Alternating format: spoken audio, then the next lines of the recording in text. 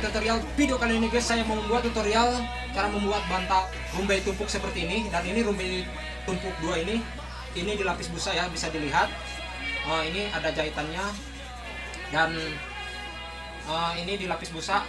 Oke dan langsung saja kita ke tutorialnya. Tips dan trik cara membuat bantal rumbai tumpuk lapis busa. Oke guys ini uh, untuk bantalnya sudah kita cutting dan kita langsung untuk dilapis ke bus, lapis busanya ya nah dan ini lapis busanya menggunakan tebal 3 mili. Nah langsung kita cutting aja. Busanya ini ngikutin besarnya si bantal yang mau kita buat.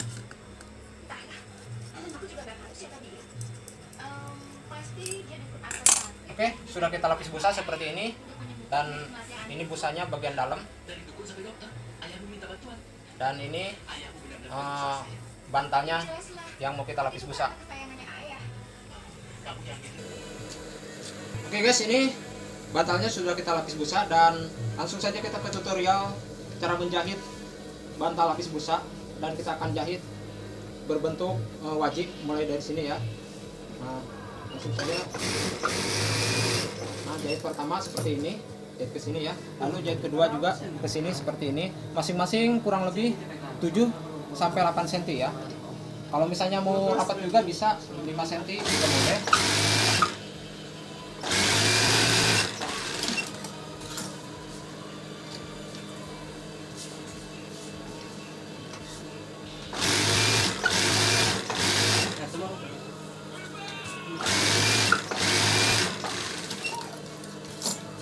Oke kita akan jahit dulu e, berbentuk nyerong ya. Satu sisi dari mulai dari sini sampai ke pinggir sini kita akan jahit dulu dengan bentuknya.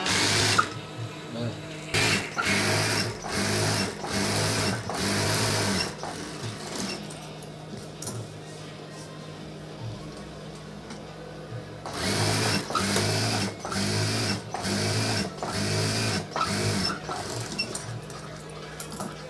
putar karena uh, biar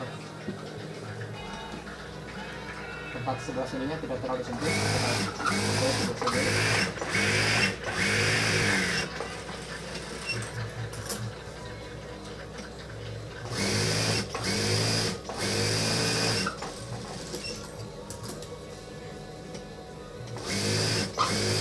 Oke dan selesai kita menjahit satu sisi ya tadi mulai dari sini sampai ke sini ya. Dengan jahitan berbentuk nyerong ya. Nah, kita satu sisi sudah dijahit dan sekarang kita putar kita akan jahit dari sini ke sini ya. Satu sisi e, berbentuk e, cara menjahitnya itu nyerong juga ya. Nah, ini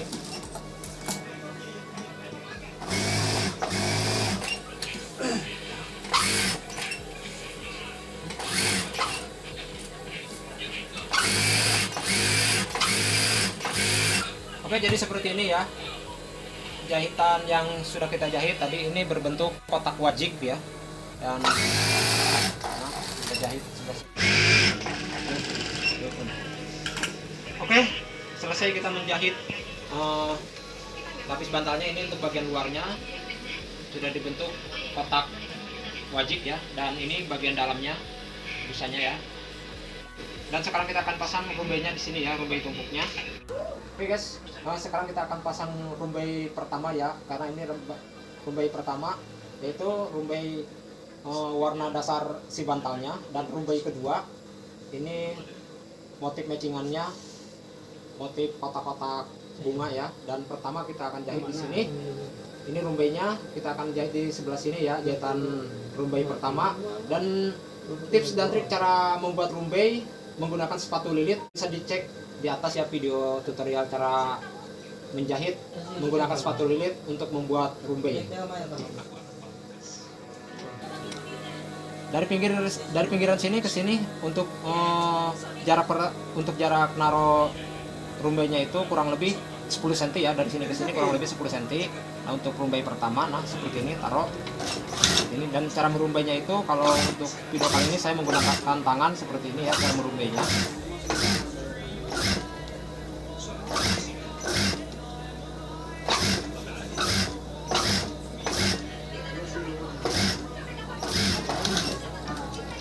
seperti ini.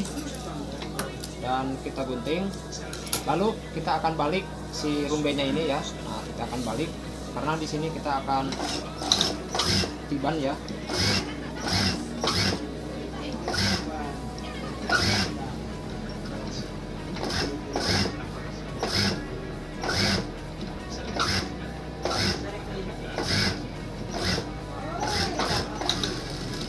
Oke, ini rumbai pertama sudah kita pasang dan sekarang kita akan masang rumbai kedua di sebelah sini ya. Jadi jaraknya itu dari sini ke sini kurang lebih 3 cm ya, yaitu menggunakan rumbai yang matchingannya motif bunga kotak ini ya. Nah, kurang lebih dari sini ke sini di 3 cm. Nah, sama cara ngerumbainya kayak tadi ya.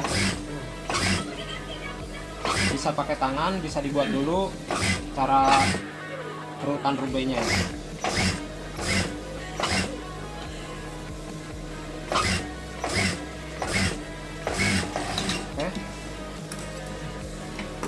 Gunting.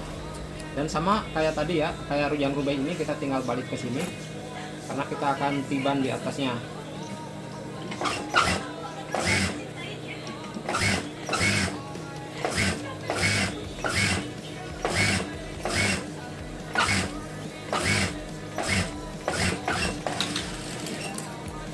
Nah, ini sudah jadi rumbai satu, rumbai dua ya, seperti ini. Lalu di sebelah sini kita akan pasang rumbai lagi sama kayak tadi ya, pakai rumbai yang warna dasar si bantalnya ini.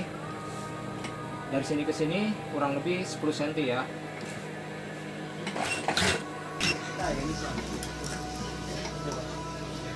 Oke, sama kayak tadi ya. Ini ditiban lagi.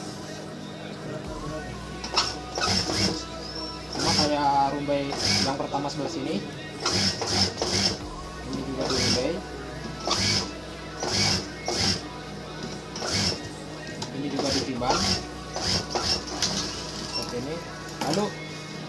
rumbai satunya lagi sama menggunakan motif kotak bunga ini dan sini ke sini sama kayak tadi ya 3 cm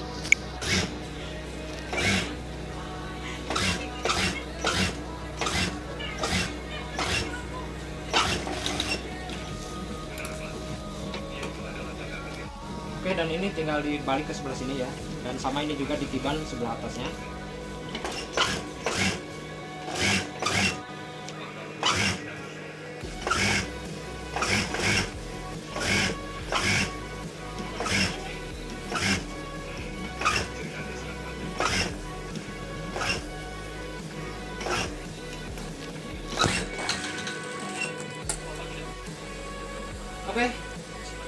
Oke selesai. Eh, kita pasang rumbai bagian bantal sebelah depan ya yaitu seperti ini nih. Dan sekarang kita akan gabungkan dengan badan yang bagian belakang. Dan ini bagian depannya ya. Ini bagian belakangnya. Dan ini bagian si lidah bantalnya. Dan kita akan buat satu bantal tutorial ya. Dan ini dan ini lidah bantalnya langsung kita clean sama kayak buat bantal pada umumnya. Seperti itu.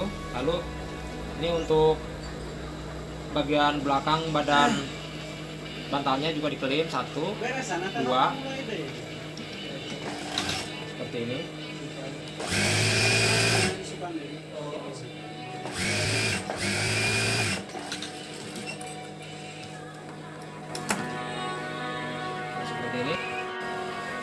lalu kita taruh bagian depan yang di rumah tadi ya di sebelah bawah seperti ini. Dan ini ini bagian belakang taruh di sebelah atasnya seperti ini.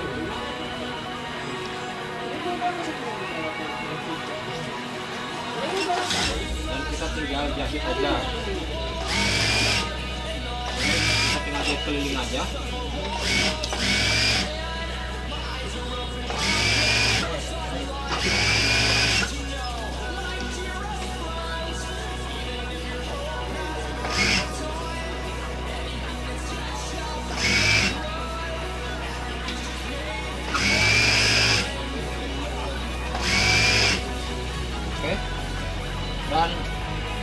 bisa dilihat untuk bagian belakang sama bagian depan itu beda ya. Karena kalau bagian belakang itu dikelim tadi ya. Jadi dia beda antara 2 cm ya.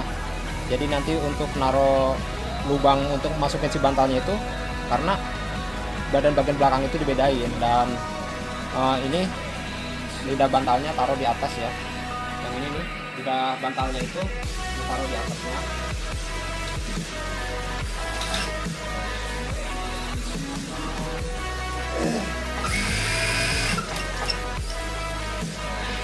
bisa dilihat ya. Ini bisa di zoom dan bagian badan belakang ini jangan sampai kejahit ya. Karena kalau misalnya kejahit nanti uh, lubang untuk masukin si bantalnya tertutup. Jadi jahitannya itu di sini ya. Nih kurang lebih di sini jahitannya. Biar si badan belakang ini tidak terjahit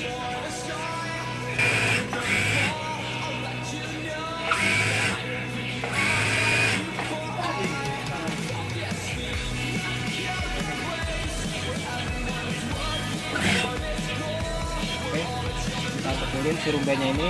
Jangan sampai rumbenya mentalin ke bawah gini ya. Jadi kita uh, pastikan si rumbenya ini ke atas. Seperti ini.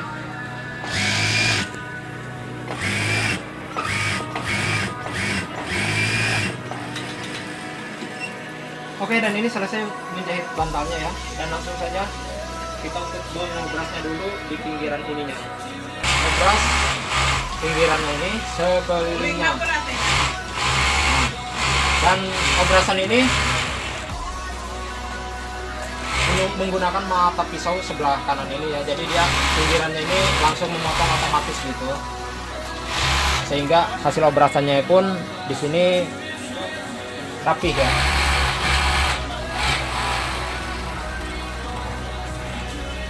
Oke guys ini selesai kita obras dan kita tinggal balikin aja bantalnya nah cara ngebalikinnya itu mudah seperti ini. Nah kayak gini pakai jempol terus pencet pakai telunjuk tinggal balikin seperti ini. Dan cara mudah banget cara ngebalikin bantalnya dan tinggal tebas saja su oh, tarap dan ini bagian depannya yang kita pasang rubai tumpuk tadi ya. Oke dan seperti ini. Lalu sekarang kita akan pasang bantal dan di belakang saya saya sudah siapkan bantal putih. Nah dan ini bantal silikon. Bantal silikon itu bagus banget karena ini silikon sintetis yang tentunya aman nyaman untuk anak-anak Oke, kita ada anak-anak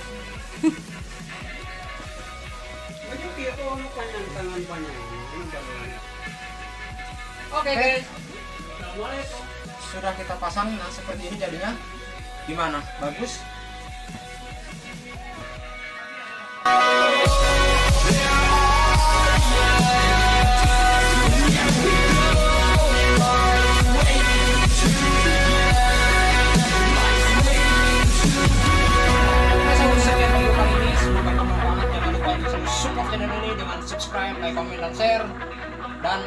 Inilah uh, tutorial video kali ini. Semoga bermanfaat yang tentunya untuk banyak orang ya.